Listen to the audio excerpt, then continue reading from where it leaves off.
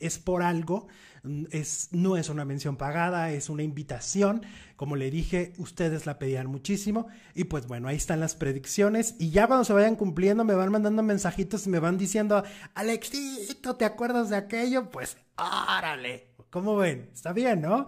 Bueno, y pues estamos completamente en vivo y ahora vamos a la información de los espectáculos porque esto se va a descontrolar, porque como lo han visto, vamos a hablar de Adela Micha, están acabando con Adela Micha, hablaremos de Silvia Pinal, hablaremos de la discusión de Daniel Bisoño y bueno, tengo por aquí un super chat, el chavo Ruco dice, pregunta acerca de la política en Estados Unidos y si habrá legalización. Bueno, la pregunta creo que sí se hizo, ¿no? Referente a la a, la política, hacia el gobierno. Ahí ella dijo una cuestión un poco de salud complicada referente al presidente y también, por supuesto, habló de la cuestión de migración.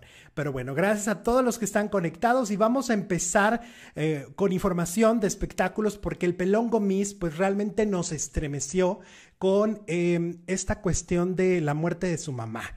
Como lo platicábamos al inicio de la semana, pues eh, su papá murió el año pasado, don Héctor Suárez, el gran Héctor Suárez. Y pues esta semana murió la mamá del pelón Gomis, que Pepita Gomis, que muchos la recordamos, pues como una conductora importante de la televisión en la década de los 60 y de los 70 Finalmente, el pelón Gomis ha compartido varios mensajes a través de redes sociales. Aquí hay algo importante que tenemos que mencionar.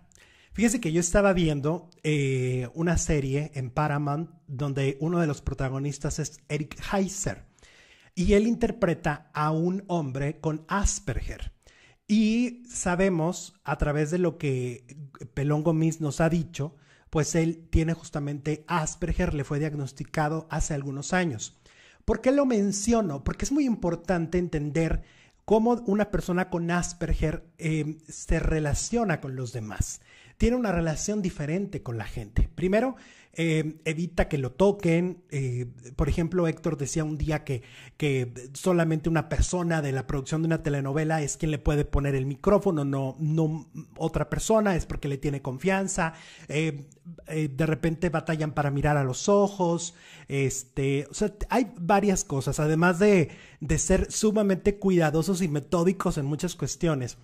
Y las relaciones humanas también las llevan de diferente manera las personas con Asperger que, bueno, es una condición, eh, está por ahí clasificada dentro como un poco del autismo, pero pues realmente son personas que pueden hacer una vida normal, simplemente hay que diagnosticarles para que justamente sepan eh, cómo actuar. Y en el caso de El Pelón Gomis, pues él nos ha narrado justamente toda su experiencia con este tema.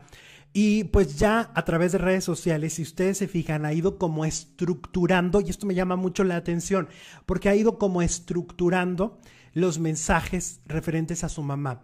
Eh, de hecho, él, la mejor manera con la que pudo vivir un duelo, que fue el duelo de la muerte de su, de su padre, fue plasmándolo en un libro y, fue, y ha sido como el mismo proceso. No sé si vaya a escribir un libro, a lo mejor también, que vaya a poner gracias mamá y que vaya a escribir también un libro de su madre, pero por lo que yo veo es la misma estructura.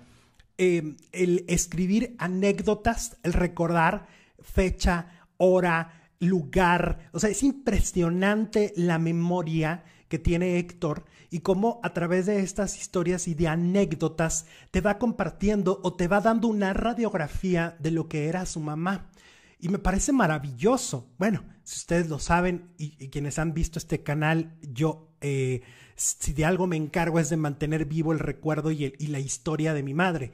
Entonces me parece fabuloso ver al pelón Gomis a través de Instagram, a través de sus redes sociales, justamente plasmando este amor, este cariño, este respeto y estructurando diferentes publicaciones para que tengan una cronología. Es increíble lo que está haciendo.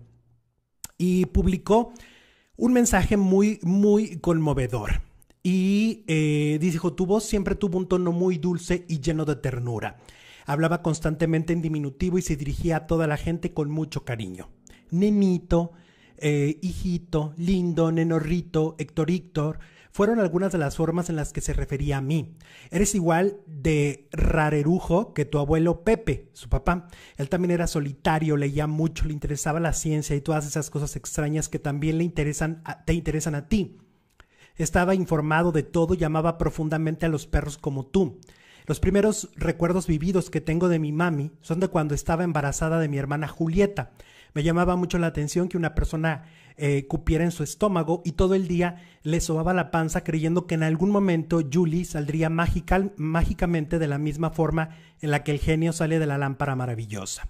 Una mujer mágica y con una extraordinaria sabiduría.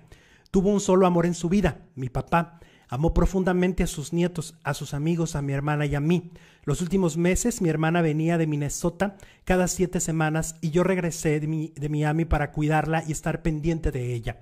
Las últimas semanas fueron fue apagándose poco a poco y la mañana del 26 de diciembre empezó a tener problemas para respirar. Le costaba trabajo hablar. Le acerqué una pequeña libreta y una pluma para que escribiera lo que ella quería decirme. Intentó escribir. No puedo respirar pero solo fueron unos pequeños garabatos. Se le cayó la pluma. Se recargó en su sillón, la tomé entre mis brazos y unos segundos después dejó de respirar. Te amo con todo mi corazón. Gracias por ser mi mamá. Mami, como se conocieron mi papá y tú, y bueno, publica otras cosas. ¡Wow! Murió en sus brazos. A través de, de este texto, el pelón Gomis nos está narrando cómo su mamá murió en sus brazos. Qué historia y qué conmovedor y qué maravilla que hasta este mensaje de alguna manera está lleno de arte, de amor. Es, es una gran historia de amor porque las, porque las historias de amor no solo son de pareja. Hay grandes historias de amor entre madres e hijos, padres e hijos, eh, hermanos, etc. Entonces, qué historia tan linda y wow, qué padre que la comparta no dudo que vaya a sacar un libro de esto y será maravilloso. Su libro me encanta, el libro que escribió para su papá. Me parece que Héctor tiene mucho talento para escribir, tanto comedia como esta parte de anécdotas que, que nos comparte. Entonces, pues es muy conmovedor leerlo y muy conmovedor escuchar esto, ¿no? Eh, Oreiro 123 nos envía 5 dólares desde los Estados Unidos y nos dice en Benevisión se hizo una novela con Mónica Esper en donde ella padecía de eso y era la protagonista. Muy fuerte, muy complicado ese problema de Asperger. Pues sí es complicado porque la sociedad no está muy acostumbrada a, tratar con personas con Asperger. Eh, no se nos ha educado para justamente entender la diversidad de mm, de formas de ser, sobre todo, ¿no? Y cuando no es diagnosticado, pues se convierte en algo muy difícil para ellos, porque el mundo les reclama ciertas cosas, ciertas actitudes, cierta forma de ser, y ellos no saben qué explicación dar y no saben qué decir respecto a, cómo se sienten o a cómo lo viven. Simplemente lo, lo viven, ¿no?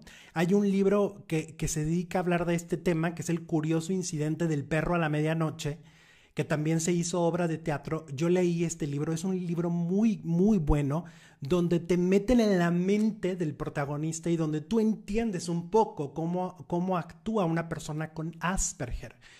Y es un gran libro.